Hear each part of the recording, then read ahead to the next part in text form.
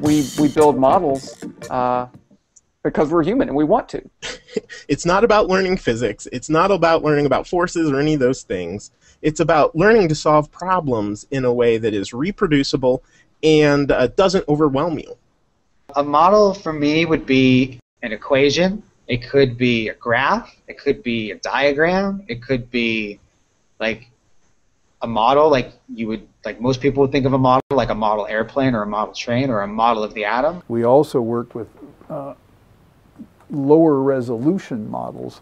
So this material could serve as a, as a very good model for the elastic properties of DNA. I think all models start with observations or an experiment because it's science is based in the physical world. In general, we look for a new law by the following process. First, we guess it. then we com well, don't laugh. That's really true. Then we compute the consequences of the guess to see what, if this is right, if this law that we guessed is right, we see what it would imply, and then we compare those computation results to nature.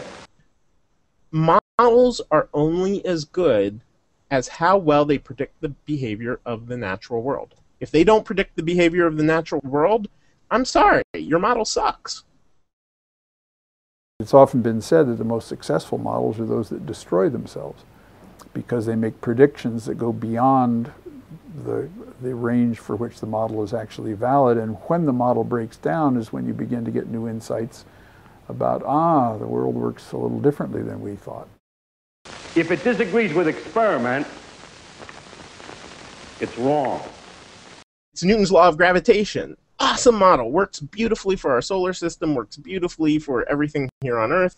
But you go out and you look, and the observations you make from tons and tons of galaxies say, no, actually, Newton's law of gravitation doesn't work so well. And so then you ask yourself, well, what's going on here? Newton's law of gravitation does work in all these other situations. Why doesn't it work here? The same thing is true in experiments. Most, many successful experiments are those that fail. You get a result you don't understand, and then you've discovered something if you can explain why it didn't work the way you thought it would the question arises, why do you see what you see or observe or measure? And that's where models come into play. People say to me, are you looking for the ultimate uh, laws of physics? No, I'm not. I'm just looking to find out more about the world. You know, science is not about finding the truth, it's about making models that work, and these models work, so we use them.